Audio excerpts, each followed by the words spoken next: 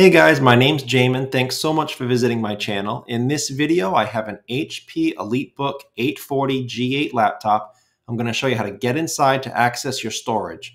Uh, this computer actually has a solid state drive for storage. So first thing guys, power down your computer the correct way. Make sure it's off and unplugged from your charger. We're then going to flip it over to access your bottom case screws. Now you only have five screws here, three up top, two near the middle.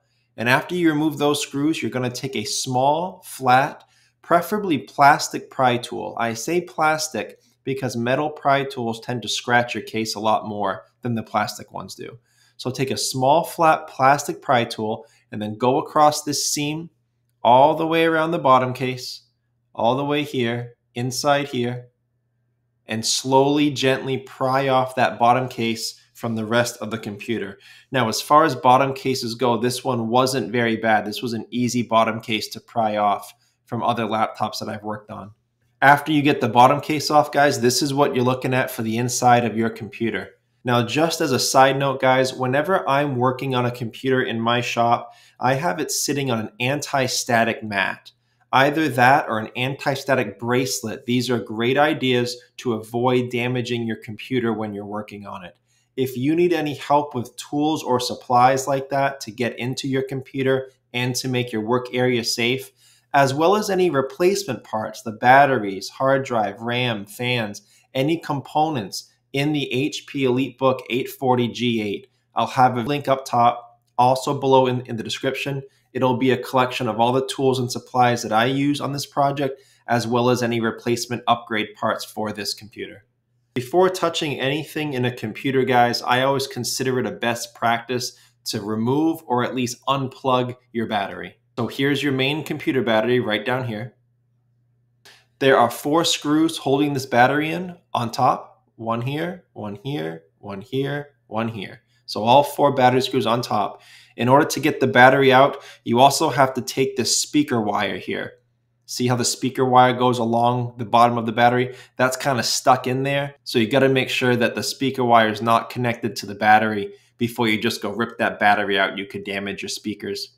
After that, guys, this is your battery plug right there. Some of you may have a black piece of tape over it. As seen here, when the computer was first opened, you may have to take that black piece of tape and just bend it back a little bit. But after that tape is removed, you can unplug this. Now, as with any wires in a computer, guys, try not to pull on the wires. Uh, put your fingernails on either grip there on that plug or a pry tool or a pair of pliers or something other than pulling on wires if you can help it. And you can just jimmy that plug right out of that port. So after your battery is at least unplugged, we're safe now to proceed deeper into the computer. Your solid state drive is right here. There's a metal plate that goes over it but this isn't screwed on, so you can just wiggle that off to access your solid state drive. As you can see here, the metal plate has been removed, and there's your solid state drive. It's an M.2 port. There's a single screw right there on top in the middle that holds it down. Once you unscrew that, you'll be able to pull this solid state drive back up out of this port, and you can replace or upgrade it. Now again, this is an M.2 port.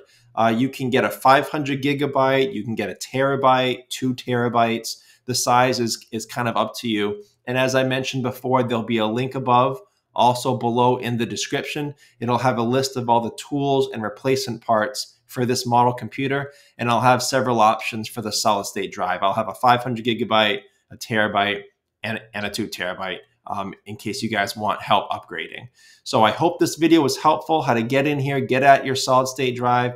If you have any questions, check out the FAQs in the description. It could save you some time getting an answer. But if you do need to leave me a question or comment, please feel free to. I do try to get to those a couple times a day at least. So thanks so much for watching, guys. I look forward to seeing you in my next video.